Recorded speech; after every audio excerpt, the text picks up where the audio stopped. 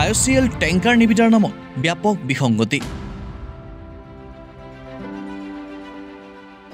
জালিয়াতিৰে নিবিদা লাভ একাংশ ঠিকাদাৰৰ। ভুৱা নথি পত্ৰৰে চলে নেকি আই চি এলৰ নিবিদা?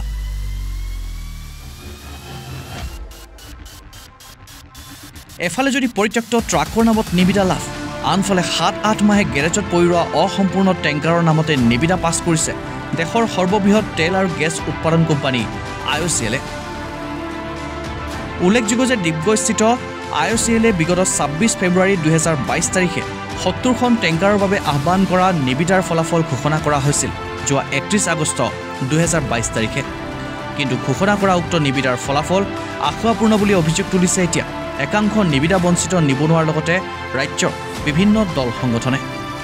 কিয়নো উক্ত নিবিদা প্ৰক্ৰিয়াত অংশ লোৱা দুলীয়াজানৰ লগতে তিনিচুকীয়াৰ একাংশ ঠিকাদাৰে চূড়ান্ত জালিয়াতিৰে নিবিদা লাভ কৰাৰ তথ্য পোহৰলৈ অহাৰ লগতে উত্থাপন হৈছে অভিযোগ।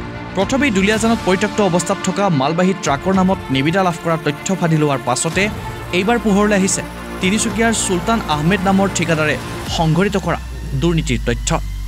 তিনিচুকীয়াৰ এইগৰাকী প্ৰভাৱশালী ঠিকাদাৰে নিজৰ নামত ছখনকৈ টেংকাৰ লাভ কৰাৰ লগতে নিজ মালিকাধীন এম কে ট্ৰান্সপৰ্ট নামৰ কোম্পানীৰ নামতো লাভ কৰিছে তিনিখনকৈ টেংকাৰ। কিন্তু লক্ষণীয়ভাৱে নিবিদা লাভ কৰা চুলতান আহমেদৰ A zero' one N C eight eight six five নম্বৰৰ লগতে A zero' one N C eight eight six one নম্বৰৰ দুয়োখন বাহনেৰে চেচিছ যোৱা ফেব্ৰুৱাৰী মাহৰ পৰাই পৰি ৰৈছে বোকাখাটৰ এইটো গুৰু নানক ইঞ্জিনিয়াৰিং ৱৰ্কছ নামৰ গেৰেজত। আপোনাৰ ধৰক ফেব্ৰুৱাৰী বা মাৰ্চ ষ্টাৰ্টিং তেনেকুৱা মানৰ? কাৰ হয় গাড়ীখন? চুলতান আহমদ? চুলতান আহমদ। তিনিচুকীয়া হয় তেখেত। কিহৰ কাৰণে দিছিলে? এইটো টেংকি বনাব দিছিলে। ফেব্ৰুৱাৰীতে? ফেব্ৰুৱাৰী তেতিয়া দিয়া। তেতিয়া দি পিছত মোৰ এই- এইখন গাড়ীটো মোৰ বনাই মেলি অলৰেডি কমপ্লিট হৈ গ'ল।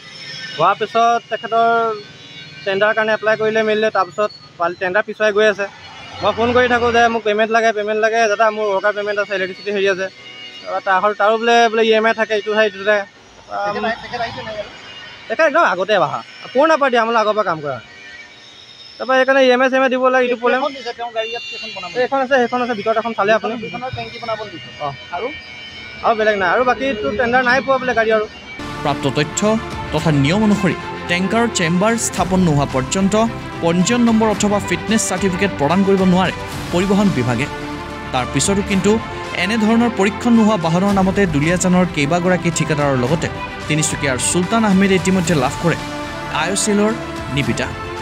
ইফালে আই অ' চিলৰ একাংশ উচ্চপদস্থ বিষয়াই চৰ্জমিন তদন্ত অবিহনে এন আই টি উলংঘাৰে নিবিদাৰ ফলাফল ঘোষণা কৰা কাণ্ডক লৈ আশ্চৰ্য প্ৰকাশ কৰাৰ লগতে প্ৰতিক্ৰিয়া প্ৰকাশ কৰিছে অসম জাতীয়তাবাদী যুৱ ছাত্ৰ পৰিষদে। অসম জাতীয়তাবাদী যুৱ ছাত্ৰ পৰিষদে পূৰ্বৰ পৰা দাবী কৰি আহিছে যে থলুৱা নিবনুৱাসকলক আচলতে আই অ' চি হওক বি পি চি এল হওক এছ পি চি এল হওক আচলতে প্ৰিফাৰেঞ্চ দিব লাগে মানে অগ্ৰাধিকাৰ দিব লাগে। কিন্তু এই ক্ষেত্ৰত আমি আই অ' চিক বাৰম্বাৰ অনুৰোধ জনোৱাৰ পিছত তেওঁলোকে কোনো ধৰণৰ কোনো ধৰণৰ অগ্ৰাধিকাৰ দিয়া নাই স্থানীয় নিবনুৱাক। এইটো ক্ষেত্ৰত আমি যুৱ ছাত্ৰ পৰিষদে আচলতে ধিক্কাৰ দিছোঁ। প্ৰথম কথা। দ্বিতীয় কথা তেওঁলোকে তিনিচুকীয়া যিটো টেণ্ডাৰ হ'ল আমাৰ হাতত যিমানখিনি তথ্য আছে তথ্যমতে টেণ্ডাৰটো হোৱাৰ আগত গাড়ীৰ সম্পূৰ্ণ ডকুমেণ্টছ তাত দিয়া ব্যৱস্থা কৰিব লাগে তাৰপিছতে টেণ্ডাৰ হয়। কিন্তু আমি যিমানখিনি তথ্য গম পাইছোঁ যিমানখিনি আমাৰ ওচৰত তথ্য আছে তথ্যমতে কোনো ধৰণৰ ডকুমেণ্টছ নোহোৱাকৈ তেওঁলোকে মানে এছাম মধ্যভোগীক মানে এছাম যিসকল দালাল ৰূপী দালাল ৰূপীক তেওঁলোকে টেণ্ডাৰ দিয়াৰ ব্যৱস্থা কৰিছে। যিটো নেকি আমি আচলতে যুৱ ছাত্ৰ পৰিষদে আমি মানে আশ্চৰ্য প্ৰকাশ কৰিছোঁ। সেইটো কাৰণে এই ক্ষেত্ৰত আমি প্ৰশাসনকো ধৰক বা আমাৰ মানে উদ্যোগ মন্ত্ৰী বিমল বৰাদেৱকো এই ক্ষেত্ৰত আমি অৱগত কৰিব বিচাৰিছোঁ যে তিনিচুকীয়াত হোৱা টেণ্ডাৰটো পুনৰীক্ষণ কৰিবৰ কাৰণে আমি আচলতে দাবী জনাইছোঁ। সমূহত ধৰক এজন ব্যক্তিয়ে যেতিয়া টেণ্ডাৰ মাৰিব লাগে তেওঁ নিজৰ নামত গাড়ী থাকিব লাগে। তেওঁ নিজৰ নামত অইল টেংকাৰ থাকিব লাগে তেতিয়াহে তেওঁ টেণ্ডাৰ মানে তাত পাৰ্টিচিপেট কৰিব পাৰে। আৰু পাৰ্টিচিপেট পিছত আৰু আৰু এনেকুৱা কথা আই চি এনেকুৱা ব্যৱস্থা কৰিছে এছ টি আৰু S C S T S চিসকলৰ কোনো কাৰণত টেংকাৰ থাকিব নালাগে তেওঁলোকে বুকিঙৰ নামত টেণ্ডাৰ কৰিব মানে তেওঁলোকে তাত আগভাগ ল'ব পাৰে। কিন্তু আমি এতিয়া যিটো দেখিছোঁ কোনো এছ টি আৰু এছ চি নোহোৱাকৈ এ- এচাম মানে ধৰক জেনেৰেল কাষ্টৰ ব্যক্তিয়ে মানে তাত টেণ্ডাৰ পাৰ্টিচিপেট কৰিছে। কিন্তু তেওঁলোকৰ গাড়ী ইতিমধ্যে দুবছৰৰ আগতে তেওঁলোকে গাড়ী তেওঁলোকৰ গাড়ী ইয়াত লৈ পেলাই মানে বোকাখাটত কোনোবা নিৰ্দিষ্ট স্থ- স্থ- স্থানত তেওঁলোকৰ গাড়ীখন ৰাখি দিছে। আৰু আমি জনামতে আমাৰ পোৱা আমাৰ ওচৰত পোৱা তথ্যমতে কোনো ধৰণৰ কাগজ পত্ৰ তেওঁলোকৰ কিন্তু আপ টু ডেট হৈ থকা নাই। কাৰণ দুবছৰ দিন এবছৰ দিন এখন গাড়ী কাগজ পত্ৰ আপ টু ডেট হৈ থকা ইমান সহজ কথা নহয়। তাৰ পিছতো তেওঁলোকে কি যুক্তিত কি সৃষ্টি কি মানে কি পদ্ধতিত তেওঁলোকক গাড়ীখনত পুনৰ আকৌ তেওঁলোকক মানে টেণ্ডাৰ কৰিবলৈ দিলে বা তেওঁলোকক কাগজ পত্ৰ কেনেকৈ নিৰীক্ষণ কৰিলে সেইটো কিন্তু এটা আশ্চৰ্য বিষয় আছে। গাফিলতি থাকিব লাগিব কাৰণ গাড়ী এখন ইয়াত পৰি আছে। গাড়ীখনৰ ফিটনেছৰ পৰা ধৰি ইঞ্চুৰেঞ্চৰ পৰা ধৰি গোটেই বস্তু পৰিবহণ বিভাগে চাব লাগে।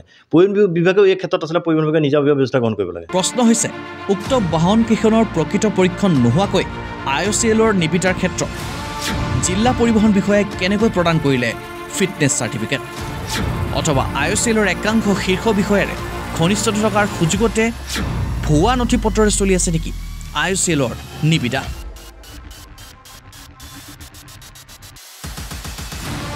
এই প্ৰশ্নই তাৎপৰ্য বহন কৰাৰ সময়তে প্ৰতিক্ৰিয়া ব্যক্ত কৰাৰ লগতে খাটি খোৱা নিবনুৱাক বঞ্চিত কৰি প্ৰভাৱশালী ঠিকাদাৰৰ নামত জালিয়াতিৰে নিবিদা পাছ কৰা আই এছ এলৰ সমগ্ৰ জালিয়াতি কাণ্ডৰ চি বি আই তদন্তৰ দাবী তোলাৰ উপৰিও ৰাজ্যৰ মুখ্যমন্ত্ৰীগৰাকীৰো হস্তক্ষেপ বিচাৰিছে ঐক্য সেনা অসমে। আই অ' চি টেংকাৰ যি কেলেংকাৰী হৈছে তাত আমি ঐক্যনৰ ফালৰ পৰা চি বি আই তদন্তৰ দাবী তুলিছোঁ। ইতিমধ্যে সংবাদ মাধ্যমৰ যোগেদি আমি গম পাইছোঁ তেওঁলোকে স্কলাৰশ্বিপ ফিটনেছ আৰু যুগ্ম নিয়ন্ত্ৰণ বিভাগো নোহোৱাকৈ কেনেকৈ আগতীয়াকৈ কাগজ পত্ৰ ওলালে এক ইয়াত বৃহৎ প্ৰশ্ন উপস্থাপন হৈছে যিহেতু ইয়াত দ্বিতীয় বিভাগৰ মানুহ যদি জড়িত নথকালৈকে এইটো কিছু পধ্যে সম্ভৱ নহয়।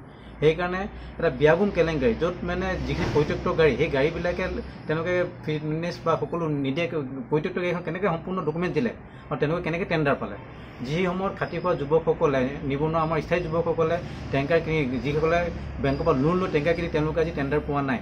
আৰু ত' এনেকুৱা এটা ষড়যন্ত্ৰ কৰা হৈছে যেন আমাৰ নিবনুৱাসকলক খাটি খোৱা নিবনুৱাসকলক ভাতে মাৰি পেলাই ব্যৱস্থা কৰা হৈছে।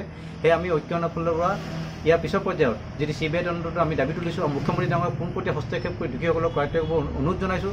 যদি ইয়াৰ পিছতো যদি যি আই অ' চি কেলেংকে যিসকল তাৰ বিষয়ববীয়া আৰু দ্বিতীয় পিছত যিসকল বিষয়ববীয়া গ্ৰেপ্তাৰ কৰা নহয় আমি ঐক্য হোৱা নাই। ইয়াৰ পিছৰ পৰ্যায়ত ইয়াত আলোচনা মৰ্মে গণতান্ত্ৰিক আন্দোলন কৰিবলৈ আমি বাধ্য হ'ম। আৰু আমাৰ ইয়াত বোকাঘাটৰ যিটো গুৰু নানক ইঞ্জিনিয়াৰিং বলবীৰ সিঙৰ তাত তেওঁলোকে দুখনকৈ ইতিমধ্যে ধৰা পৰিছে। এই এটা চেইন ছিষ্টেমেটিক গোটেই বস্তুটো কৰা হৈছে। অক্ষয় যাদৱ আপোনাৰ সিং ডাঙৰী আৰু আহমেদ চুলতান আহমেদ নামৰ যিকেইজন ব্যক্তিয়ে এই টেণ্ডাৰটো পাইছে।